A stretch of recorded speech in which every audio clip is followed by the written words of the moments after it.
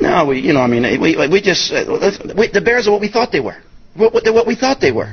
We played them in preseason. Who the hell takes a third game in a preseason like it's bullshit? Now, if you're playing Bullshit. the movie on a telephone, we Played them in the third game. Everybody will played three quarters. never in a trillion years The Bears experience the are who we thought they were. You'll think you have experienced it, That's why we took the damn field. but you'll be Now, if you want to cheated. crown them, It's a, such a sadness crown their ass. that you think you've seen a film on your fucking telephone. But they are who we thought they were. Get real. and we let them off the hook.